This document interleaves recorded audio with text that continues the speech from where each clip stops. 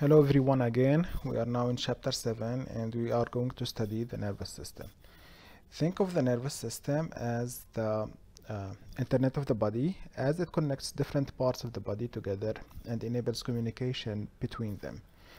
In order to do this, the nervous system has the following characteristic. It receives information from many sources at the same time or simultaneously it integrates this information, process, complies, makes sense of this information.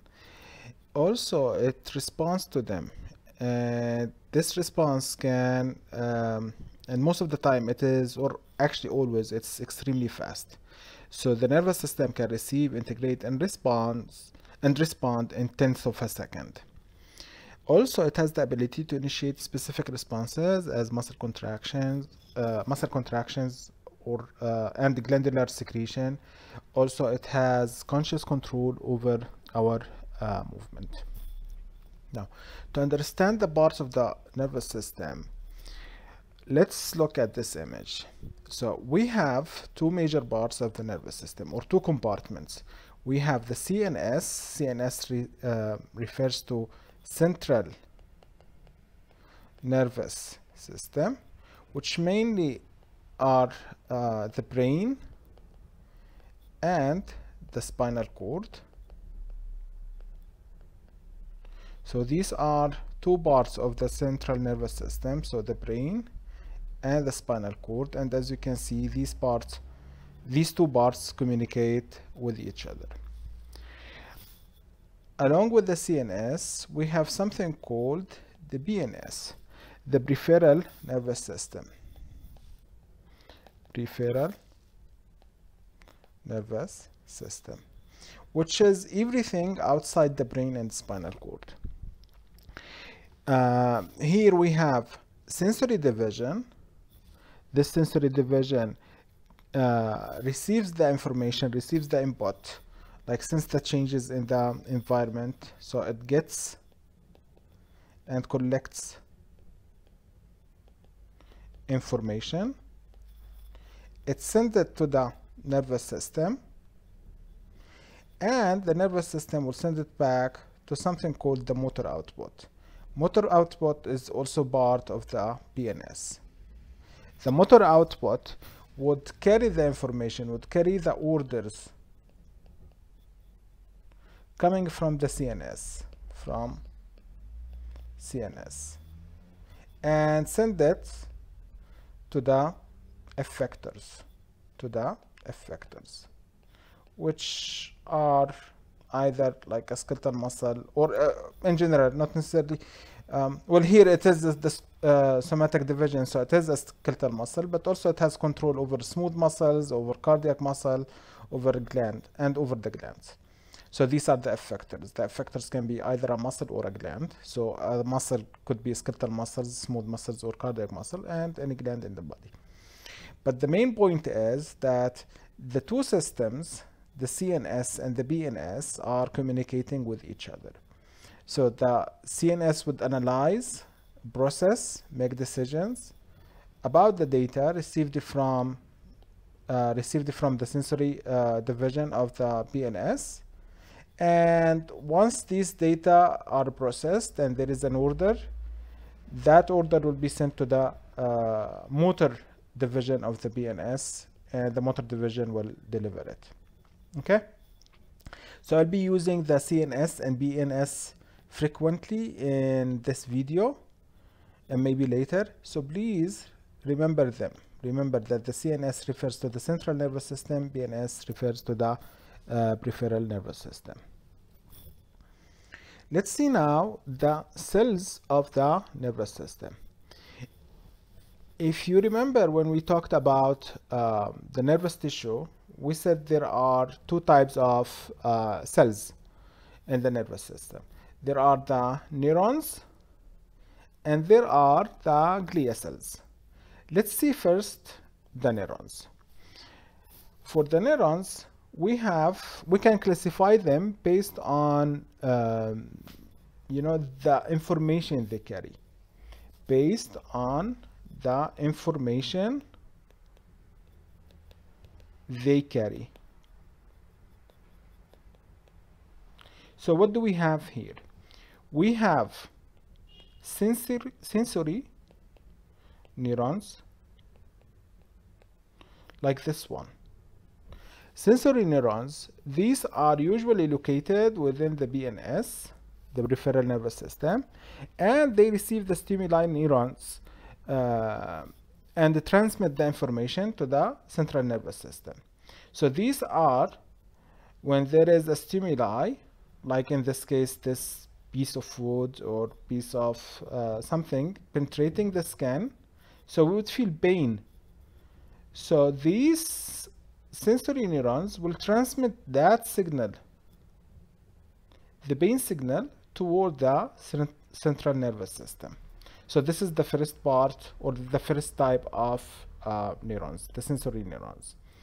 The second type is something called inter neurons.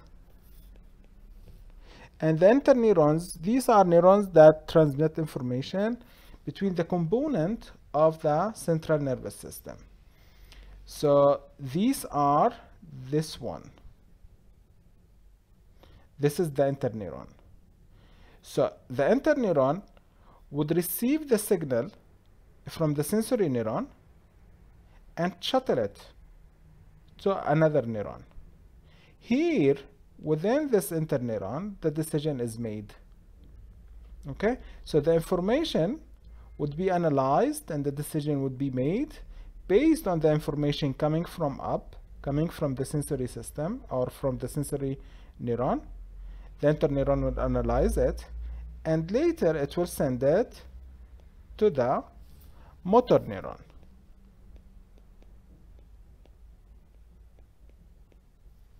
which is this one.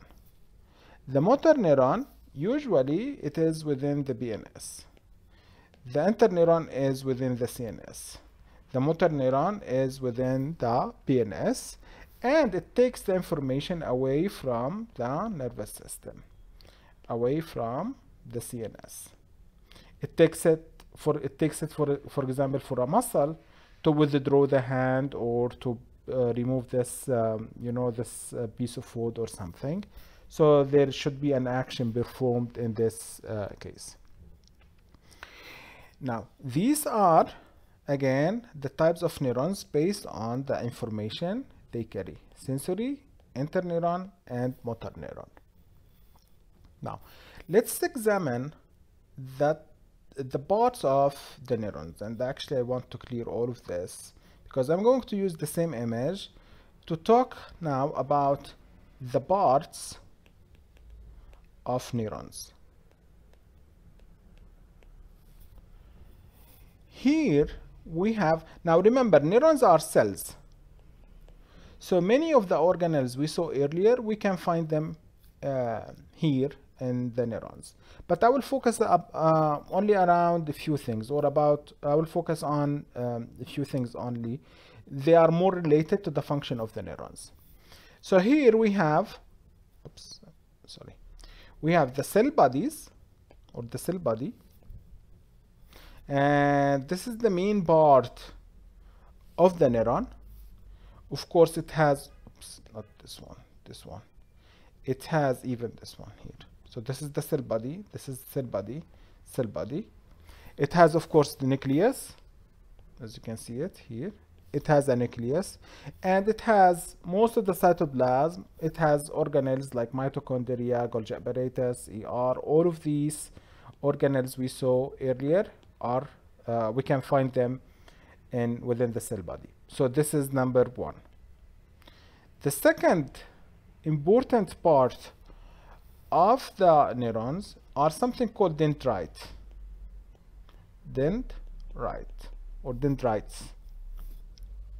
These are small branches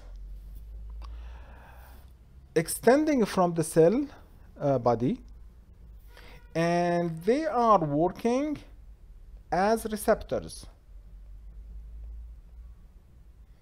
Okay, so here in this example, these dendrites are extending from the cell body not necessarily this one here but these are extending from the cell body. So these extend